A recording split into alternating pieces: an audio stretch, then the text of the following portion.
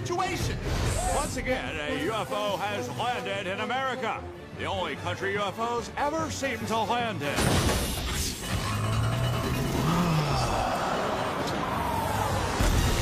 Humans of Earth, my quest has led me to your planet. Give it to me now! You should in no way take any of this personally.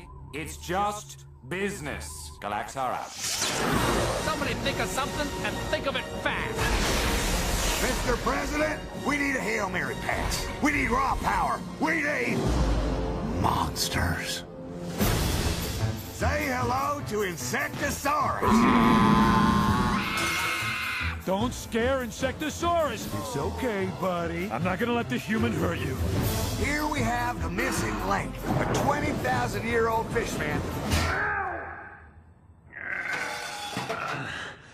Papa's a little out of shape. This handsome fellow is Dr. Cockroach, Ph.D. I'm not a quack, I'm a mad scientist.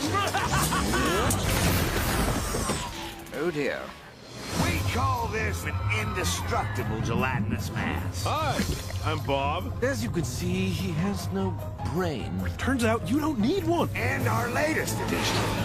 She's 50 stories tall. Excuse me. With enormous strength and size. What do people scream when they see you coming? You know, like, look out!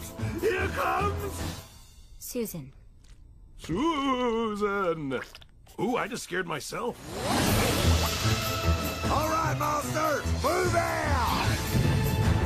Welcome! We are here to destroy you! I got him, you guys! I got... Don't worry, I won't let go! I'm wearing him down!